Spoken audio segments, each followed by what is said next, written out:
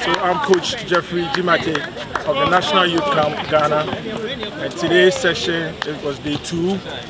In the morning, we had a session with Coach from the FIBA. And then we learned, today what we learned about was transition offense. We did shot selection, we did good shot. We did how to run the fast break. We used a five man to run the fast break and coach taught us how to run the three lanes. When we have the ball, we, we, we push to the outlet, the outlet runs the last lane, and then the two other players will, will stick to the outer lane, and then they get the ball, and then they hit the man in the middle.